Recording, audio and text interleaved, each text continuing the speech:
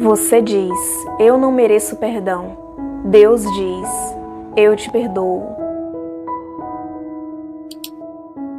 Olá, seja bem-vindo a mais um vídeo deste canal. O meu nome é Lauriane Rodrigues.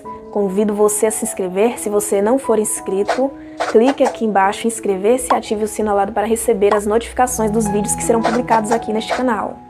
Muitas pessoas pensam assim: eu não mereço perdão. Eu também já pensei assim. Você pode estar pensando assim, ou conhece alguém que pensa dessa forma.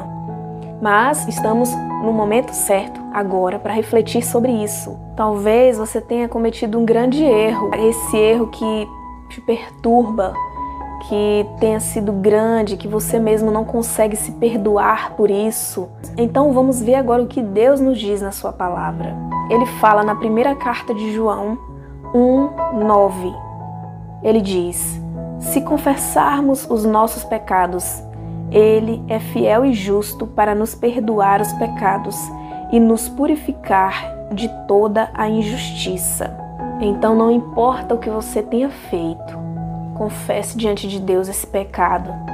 Se arrependa. Se arrependa para que Deus veja a sinceridade do seu coração. Em primeiro lugar, se perdoe. Entenda que você pode obter o perdão de Deus através do sangue de Jesus, que te purifica de todo pecado.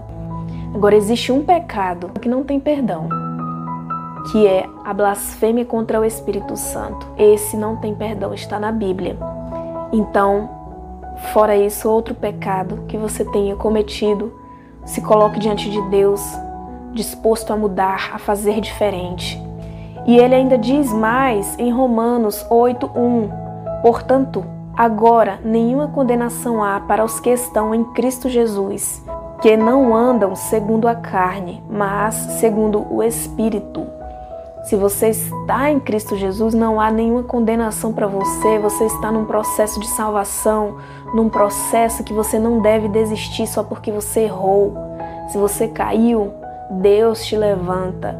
Se coloque eh, na presença de Deus, que Ele vai reconstruir a sua vida. Ele vai reconstruir tudo.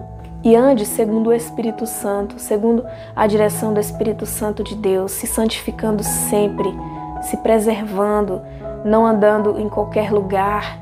Muitos não entendem o porquê que tem que andar em santidade, porque o Espírito Santo é, é sensível e qualquer coisa ele se afasta, que nem uma pomba. Ele não está em lugares que, que não glorificam o nome dele. Então, por isso que nós devemos nos preservar para que a presença do Espírito Santo esteja sempre conosco e não venha se afastar de nós. Então, existe perdão para a sua vida em Cristo Jesus. Se coloque diante de Deus a partir de hoje, disposto a fazer diferente e se perdoe, que Deus vai te abençoar grandemente, te levantando a cada dia e fazendo a obra de transformação no seu coração.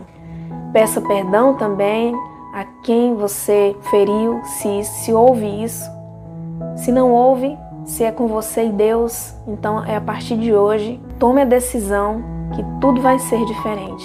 Se você gostou dessa mensagem, tocou o seu coração, compartilhe para que também fale ao coração de outras pessoas. Não esquece de se inscrever no canal e deixa aqui também o seu like neste vídeo. A paz do Senhor Jesus e até o próximo vídeo.